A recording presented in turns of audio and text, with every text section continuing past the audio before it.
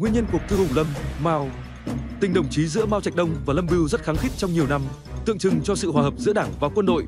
Hai người đã nghe biết và ngưỡng mộ tên tuổi của nhau trước khi gặp nhau lần đầu năm 1928, khi Lâm Bưu tới gia nhập chiến khu tỉnh Cương Sơn của Mao Trạch Đông. Sau đó Lâm Bưu đã nổi tiếng khi chỉ huy trung đoàn công nông thứ 28 thuộc tứ quân do Mao Trạch Đông lãnh đạo.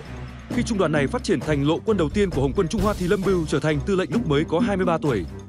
Những chiến công của Lâm Bưu Lâm Bưu sinh năm 1907 tại tỉnh Hồ Bắc thuộc một gia đình khá giả và được học hết bậc trung học. Với sức học ấy, Lâm Bưu được coi là có học thức trong các tướng lãnh Hồng quân, vì có những danh tướng khác của Trung Cộng xuất thân từ Mục Đồng, chuyên nghề chăn trâu cắt cỏ như thống chế Bành Đức Hoài, đại tướng tham mưu trưởng Hoàng Vĩnh Thắng. Khi trường quân sự Hoàng Phố thành lập thì Lâm Bưu là một trong những khóa sinh đầu tiên. Năm 1925, Lâm Bưu gia nhập nhóm thanh niên xã hội tại Thượng Hải.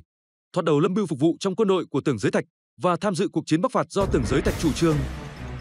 Năm 1927, Lâm Bưu bỏ Tưởng Giới Thạch, gia nhập Đảng Cộng sản Trung Hoa và tham gia cuộc khởi nghĩa tại Nam Sương ngày 1 tháng 8 năm 1927 do Chu Ân Lai điều khiển. Cuộc khởi nghĩa thất bại sau 3 ngày chiếm được Nam Sương và phe Cộng sản phải rút lui chạy trốn vào rừng núi vì không chống lại được lực lượng hùng mạnh của tướng Trương Phát Khuê. Đến tháng 3 năm 1928, Lâm Bưu và nhóm Cộng sản thất bại tại Nam Sương gia nhập đạo quân của Mao Trạch Đông và Chu Đức tại tỉnh Cương Sơn. Binh nghiệp của Lâm Bưu là những bước tiến mau lẹ lên những cấp bậc cao hơn. Năm 1929, Lâm Bưu trở thành tư lệnh một quân đoàn nhờ sự nâng đỡ của Mao Trạch Đông. Đó là quân đoàn số 1 của Hồng quân Trung Hoa. Lâm Bưu có hai nhược điểm là không có tài gây ấn tượng trước quần chúng và sức khỏe yếu kém. Lâm nhỏ con, gầy yếu và xanh xao, tướng mạo không có gì đặc biệt, như cặp lông mày quá rậm và chiếc mũi quá cao so với một người Trung Hoa bình thường. Tuy thế Lâm Bưu cũng là một con người đầy nghị lực và quyết tâm, cũng như có khả năng quân sự thiên phú. Lâm Bưu dường như là một viên tướng gặp vận may nhiều nhất và con đường võ nghiệp của Lâm Bưu tiến bộ cực kỳ mau lẹ, được nắm quyền chỉ huy những đại đơn vị khi còn rất trẻ. Lâm Bưu tiếp tục tạo được những kỳ công chiến trường trong suốt 4 đợt bao vây tiễu trừ của Tưởng Giới Thạch, tấn công vào văn cứ Xô Viết Giang Tây. Nhưng đến đợt bao vây lần thứ năm thì Hồng quân tại Giang Tây bị quân của Tưởng Giới Thạch đánh bại và bắt buộc phải dẫn nhau chạy trốn lên miền Thiểm Tây hoang giá trong cuộc Vạn Lý Trường Trinh. Lâm Bưu chỉ huy lộ quân trung ương trong cuộc di tản chiến thuật này. Khi cuộc Vạn Lý Trường Trinh chấm dứt, Lâm Bưu được phong làm tư lệnh phó của cả Hồng quân Trung Hoa. Năm 1936, sau cuộc Vạn Lý Trường Trinh, Lâm Bưu trở thành giám đốc học viện quân sự Diên An. Trong những cuộc tranh chấp nội bộ trong cộng đảng Trung Hoa sau đó, đôi khi Lâm Bưu cũng bất đồng quan điểm với Mao Trạch Đông, nhưng bao giờ cũng đứng trong phe của Mao. Năm 1937, Lâm Bưu chỉ huy sư đoàn 115 thuộc bát lộ quân mới thành lập cùng với Nhất Vĩnh Trăn làm chính ủy. Lâm Bưu chứng tỏ tài năng quân sự quán thế trong một trận đánh nổi tiếng, đánh bại đoàn quân Nhật Bách chiến Bách thắng của tướng Itagaki Seshiro tại Bình Hình Quan. Chiến thắng này tạo được một niềm phấn khởi vô biên cho Trung Hoa và cũng là một khúc quanh lịch sử quan trọng cho Trung Hoa và cho sự nghiệp của cả Lâm Bưu và Mao Trạch Đông. Sau đó Lâm Bưu phải sang Nga Xô để điều trị các thương tích của những trận đánh trong năm 1938. Trong thời gian dưỡng thương tại Nga Xô, Lâm Bưu đảm nhiệm chức vụ đại diện cho Trung Cộng tại Tổ chức Cộng sản Quốc tế tại Mạc Tư Khoa. Năm 1942, Lâm Bưu trở về Trung Hoa và làm viện trưởng Viện Chính trị Quân sự chống Nhật tại Diên An.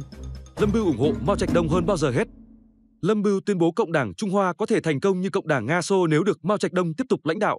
Tháng 4 năm 1945, Lâm Bưu được bầu làm ủy viên Ban chấp hành Trung ương Đảng Cộng sản Trung Hoa.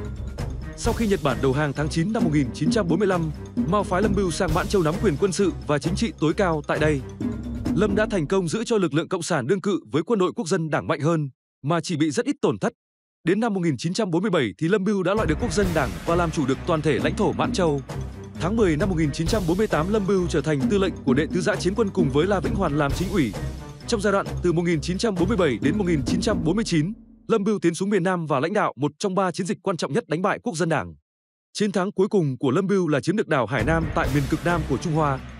Quân số dưới quyền Lâm Bưu bành trướng từ 100.000 lên tới trên 1 triệu. Lâm đã đạt được chiến thắng trên khắp lãnh thổ Trung Hoa. Chính vì thế, mặc dầu mới có 42 tuổi, Lâm Bưu đã trở thành một nhân vật danh tiếng lẫy lừng nhất của quân đội nhân dân Trung Hoa.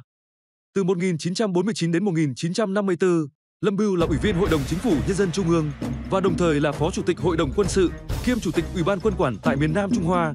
Lâm Bưu đứng hàng thứ ba trong số 10 thống chế của Hồng quân Trung Hoa, sau Chu Đức và Bạch Đức Hoài. Sau cuộc giải phóng, Lâm Bưu dường như lui vào bóng tối. Lâm Bưu rất ít khi xuất hiện trước công chúng, một phần vì lý do sức khỏe.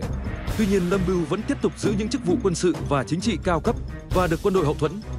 Lâm Bưu đã lợi dụng lúc thống chế Bành Đức Hoài bận chỉ huy chính nguyện quân Trung Hoa tại Hàn Quốc và thống chế Chu Đức quá già yếu để củng cố quyền lực của mình trong bộ máy quân sự Trung Cộng.